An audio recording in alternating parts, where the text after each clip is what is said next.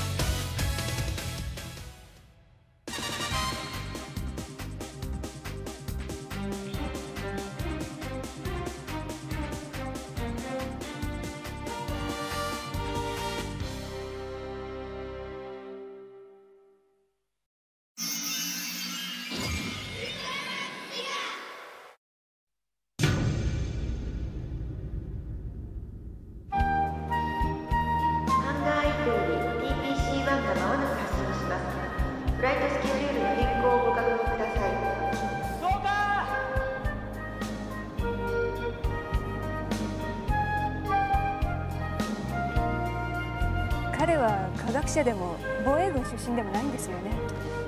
疑問があるかね？あいえ。彼はあ時間だ急ごう。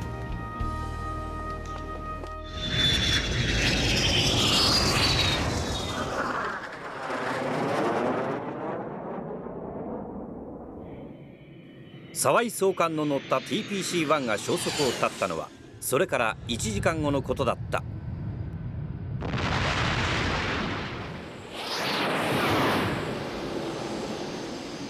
すぐ TPC-1 の消えたポイントだよ。あ？ったくもういくら総監だからってさ行き先も知らせず飛ぶかね普通。聞こえてるわよ新庄隊員。はい。隊長もご存知ではないのですか？極秘の会議があるということだけは聞いてるんだけど。その近辺にあるのはクリオモス諸島だけですけど。クリオモス諸島何か？防衛軍が地球平和連合に移行するとき南の島の秘密の施設で各国首脳会議が行われた。隊長僕も捜索に参加させてください。2号の連絡を待ちなさい。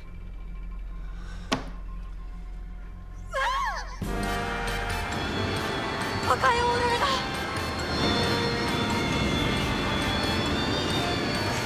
操縦桿が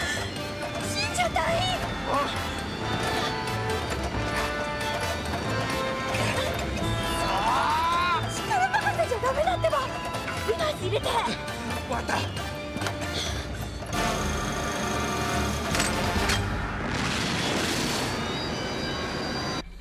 離脱しました。隊長クリオモス島から衛星ニュース回線に強制介入です。クリオモス諸島は本日午前をもって国家として独立を宣言する。私は国家元首沢井。地球平和連合 TPC はクリオモス島を首都とする世界統一国家の行政機関へ順次移行させていく。なお島の領空はいかなる理由を問わず侵犯する者は撃墜する。そんなアホな。やがて間もなくクリオモス諸島には世界の TPC 首脳陣が極秘裏に集まっていたことが判明した。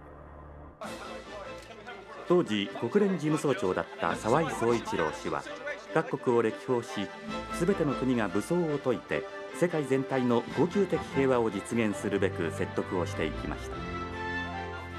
民族紛争などが未だ残っていたこの時期沢井事務総長の行動は理想論に過ぎないとの見方が一般的でした。しかしその沢井氏を全面的に支持したのが各国科学者たちのフォーラムだったのです。人類が新しい時代を迎えようという今予測不可能な事態に対して世界は一つに結び合い立ち向かっていく必要性を訴えたのです。これら全ての行動も沢井氏の遠大なる世界支配計画の一つだったのでしょうか。何言うてんねん。総監がそんな野心を抱くはずない。現在オーロラの解析をしています。衛星探査もダメとは島の施設の構造図を入手しました。空ではなく。後で整合で出撃だ。何をぼやぼやしている。行きたいですよ。僕だって。なんだと？吉岡刑務局長官。ガッツは出動できないのです。なぜだ？それは。ガッツの攻撃力は災害要員としての怪獣地球外からの侵略者に対してのみその使用を許可され。そんなこと言ってる場合か沢井総監があんなことを本心で言ってるはずがないことくらいわからんのか。私は総監を信じています。なら出動だ。私が許可する。できません。ガッツのいや TPC の決めたルールなんです。人間同士の紛争解決に二度と武力は使わないと。世界が見てるんです。総監の意志に反するんです。それは。出遅れて後悔するのはお前たちだ出遅れたりせえへん。安住まだか？あのオーロラは旧防衛軍時代に某国で開発された特殊シールドです。人間の作ったもんか。よう研究してきてるっちゅうこっちゃな。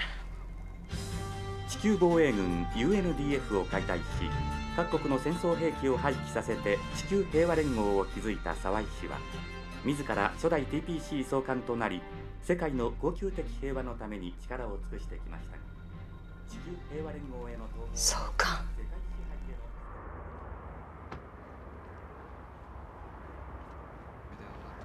そう。やはり地球外のパルスパターンですね。すまなかったな。急に呼び戻して。日本でもこんなことが起こるなんて。どうなるんでしょうね地球は滅びたりはしないさ。人類は必ず新しい時代を迎えることができる。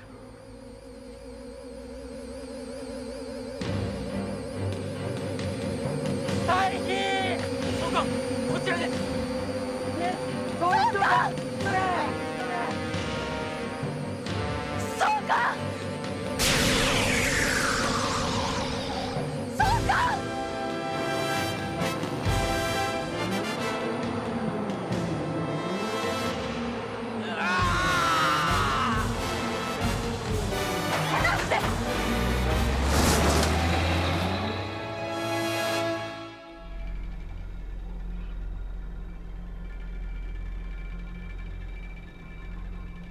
世界統一国家の。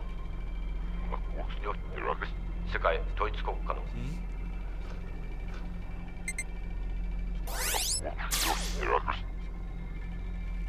なんだよこれ。隊長。何？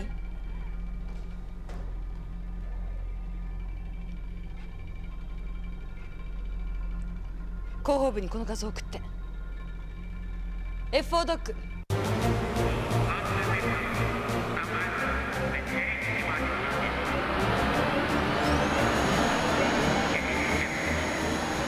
島の上空はシールドによる防御は強固だが海底から極秘会議場へアクセスできることが分かった。トルファー202それの操舵訓練を受けてるのは今2号乗ってる2人だけや。海洋調査班のパイロットを呼んであるわ。大悟あなたが行くのはい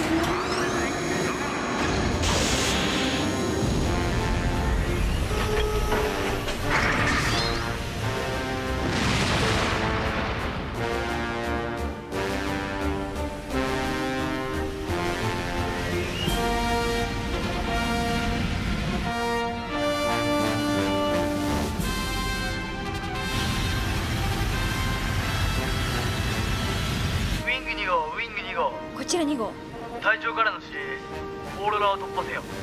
そんな無茶なこと。勝ったぜ俺たちの仕事。レナ島へ最接近だ。無線は傍受されてる。リーダーたちが何かやらかすつもりなんだよ。じゃあ私たちは？暴れろってことよ。テキサスビームスタンバイ。了解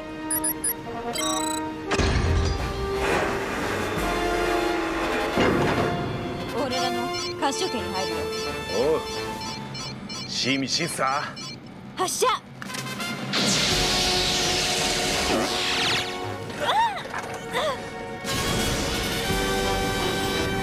だまだまぜちるんじゃねえぞ落とすもんかリーダーからスクランブル通信ですアートベースエゴは目標ポイントに到着着水しましたドルファー202はまだ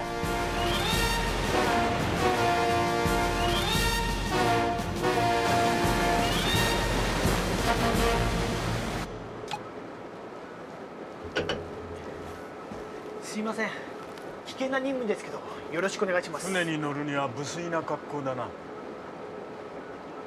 吉岡長官なんなんで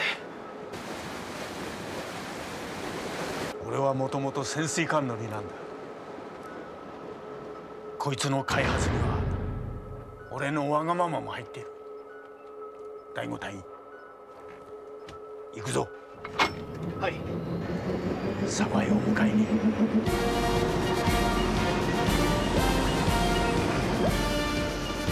ドルファー202発進しました。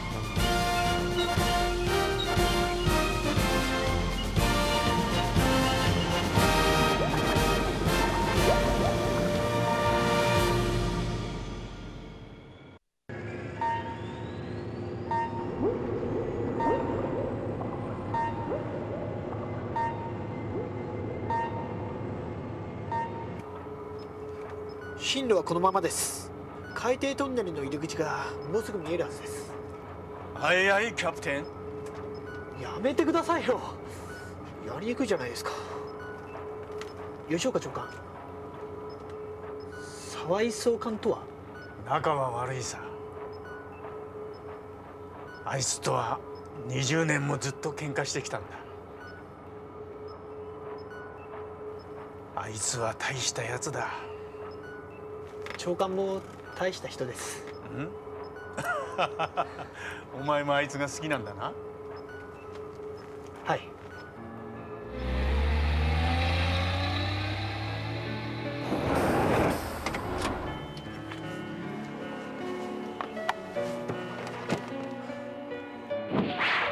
大丈夫ですか？元のは今沢井総監にどっか行かれちゃったらなんか困るんですよ。さあ、ちょっと高いけど飛びますよ。よし。おっ。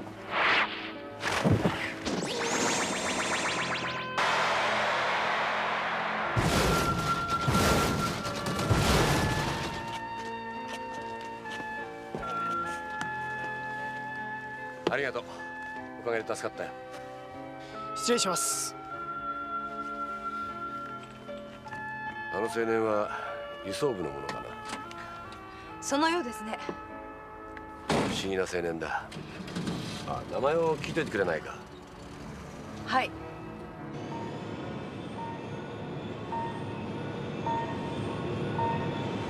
そうか。それでガッツイええ。でもそっからが大変だったんです。だってレナや新庄さんみたいに養成学校のエリートじゃなかったから。特別扱いを期待する方がバカ者だ。いえそんなこと僕は。期待しなかったか？はい。絶対にか。ちょっと。あいつらしい。しかし沢井がお前を部下に選んだのが正しかったかどうか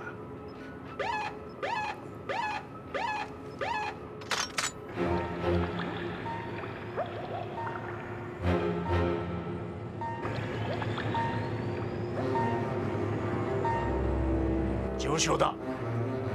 いよいよ敵の本陣へ向かうぞ。はい。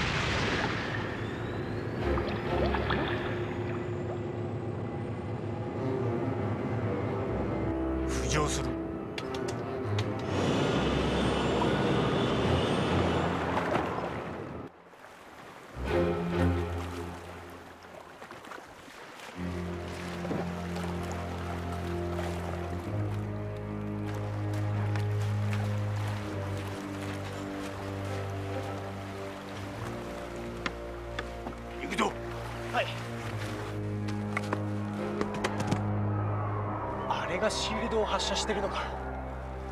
破壊して空で待機してるみんなを呼びます。俺は一足先に沢井のところへ向かう。大丈夫ですか？年寄り扱いするな。すいません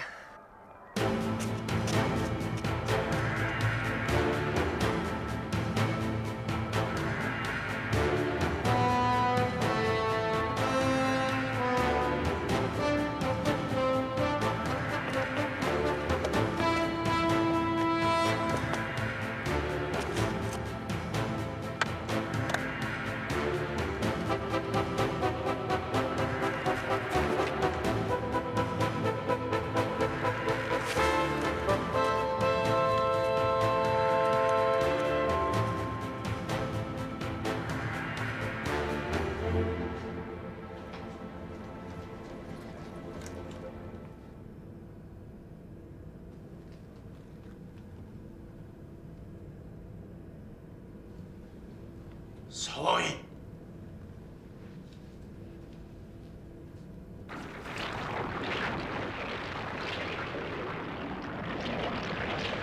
ふざけたまねを。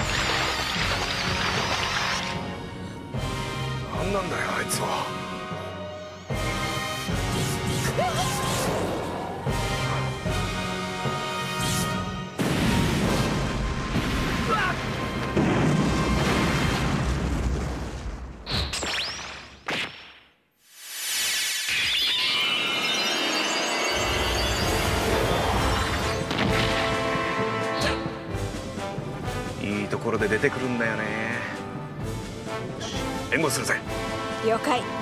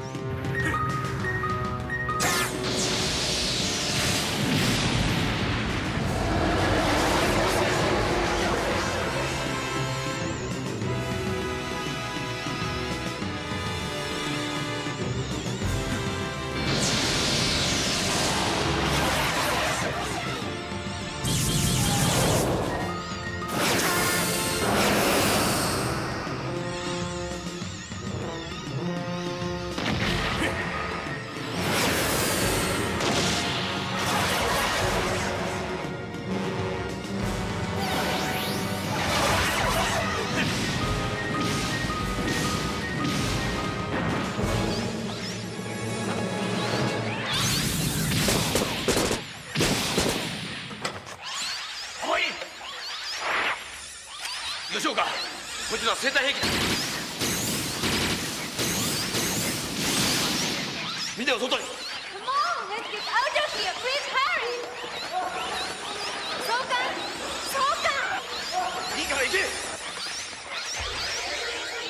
なだ。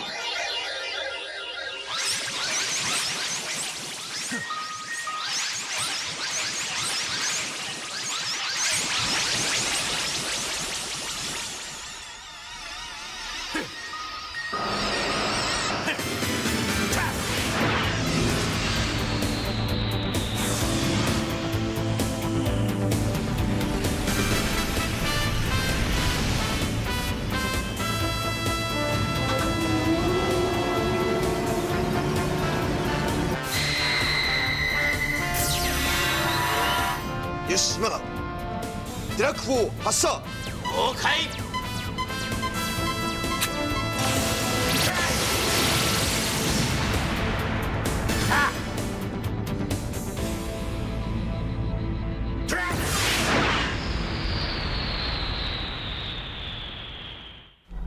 やりましたね。あんなもの誰が送り込んできたんだろう。おレナ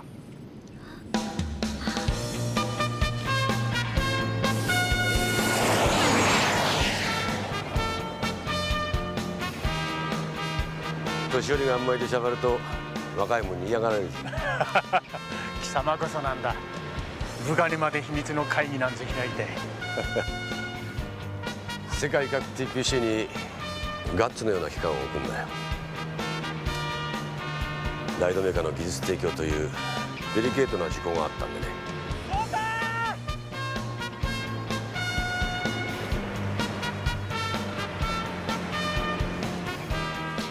いい部下を持ったな。